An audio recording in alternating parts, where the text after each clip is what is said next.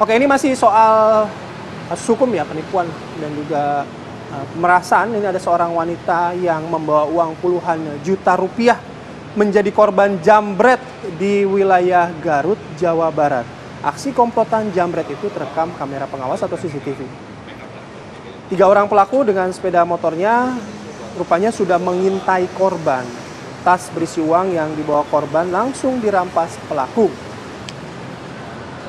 Korban yang diketahui baru saja pulang dari bank pemirsa, kemudian diduga korban sudah dibuntuti oleh pelaku sejak awal tiba di ATM. Dan lagi-lagi pemirsa berbagai kasus kejahatan ini memang nampak sering terjadi. Jika ada kesempatan, kejahatan pun ada. Jadi waspadalah dan juga berhati-hati pada saat melakukan aktivitas terlebih lagi di luar rumah.